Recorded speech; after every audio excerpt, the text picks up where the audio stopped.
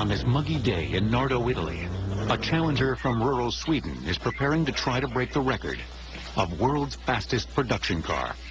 Set by the McLaren F1, this record has defied all takers for seven years and stands at a blistering 240.3 miles per hour. A humid day and a tightly ovaled track seem to portend another failure. Nardo is a circular track, so it kind of scrubs away a lot of speed. You're constantly on a turn. But the Challenger is no ordinary car. This is the CCR from the innovative Koenigsegg Motor Company. It quickly accelerates past 100 miles per hour. And then 150. By the time the CCR is in sixth gear, it's well over 200 miles per hour, rapidly closing in on the old record. The man behind the new Challenger, Christian von Koenigsegg, had an infatuation with fast cars that began in his youth. When I was five years old, I saw a, a Norwegian puppet movie about a bicycle repairman who built himself a race car, and I got really, really uh, excited by it. So I said to myself, that's what I want to do. I want to build my own car. That dream led Christian to start the Koenigsegg Automotive Company in 1995. Soon thereafter, he designed the CCR. I basically started from a blank sheet of paper and I had some ideas of what my car would be like. It was going to be a nimble, lightweight, high-performance sports car with a detachable hardtop that actually gave the convertible feeling when you take it off. CCR stands for Competition Coupe Radical. The Koenigsegg CCR is the lightest, most powerful, fastest supercar ever built. It's basically a race car for the road, but it has the features that you expect from a road car, um, such as air conditioning, stereo, uh, power windows, power steering, etc. It's got racing car performance, but it's still very streetable and drivable, and you can cruise around in it. Our production facility used to be a fighter jet squadron. Now we build the fastest car in the world in here.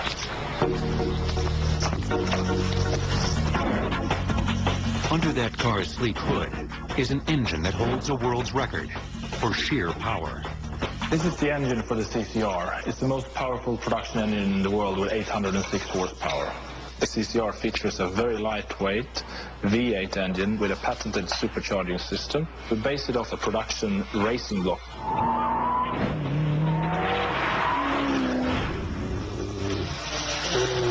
But All the internals are our own uh, engineering. We were looking at doing uh, V12, but we quickly realized that our performance target of 800 horsepower could be obtained safely within a V8 structure. Of the CCR's most striking features is its unique door mechanism. We have a very wide car with very wide doors, so we realized that when we parked next to other cars, that was not very practical. And I had seen on an electrical uh, car in Sweden a similar door system where you open first outwards and then upwards, which was quite intriguing. But it wasn't really practical to first move out and then up. So we came up with this system where we do it all in one motion, which, according to everyone we talked to, was impossible. It's probably the most difficult door system on any car in the history of cars. But it works very, very good and is very, very stable. Another feature crucial to the car's success is much less obvious. There's precious little metal used in construction of the CCR. Instead, super high-tech carbon fiber makes up much of the car. The carbon fiber technology was originally invented by NASA in the US for their space program. Basically, it's the strongest, lightest, commercially available material to produce products out of. And it's still very, very expensive, but if you want to go lightweight and strong, carbon fiber is the way to go. In its original state, carbon fiber looks like the thin neoprene rubber used in wetsuits. The fiber is formed onto molds of the specific car part it's to become. Then on those molds, the parts are placed into a kiln-like oven, whose temperature is constantly monitored. A is the oven we use to cure our products in. We cure them for 120 degrees for one hour. Then it will be several more times stiffer than steel. The now super hardened fiber remains remarkably lightweight. The molded pieces are then fitted together by hand. We use carbon fiber almost everywhere in the cars, so that means the chassis structure is actually carbon fiber. The uh, engine structures, even valve covers are carbon fiber. All the interior trim panels are very, very thin carbon fiber. Even the body panel system is carbon fiber. When you see them painted, they just look like steel or aluminum, but it's carbon fiber underneath. McLaren is a race car company. Bruce McLaren was a race car driver, an Australian. He came to Europe and uh, was driving for other people and then decided to design and build his own cars. And they thought that it would be a great idea with all this technology they had, particularly from Formula One, to build a car for the street.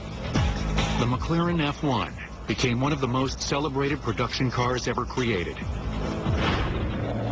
Featuring a unique driver center cockpit, it had a powerful BMW V12 engine that cranked out 627 horsepower. Introduced in 1991, the F1 went on to set the world production speed record, just over 240 miles per hour on March 31st, 1998, only two months before the final F1 rolled out of the factory.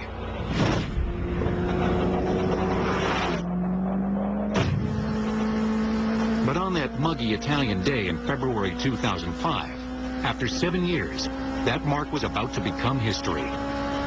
The Koenigsegg CCR ran smooth and hot. It powered up to 240 and then smashed through with a sizzling record-breaking 241 miles per hour, making it the new world's fastest production car. Of course, because the CCR is a production model, anyone can place an order.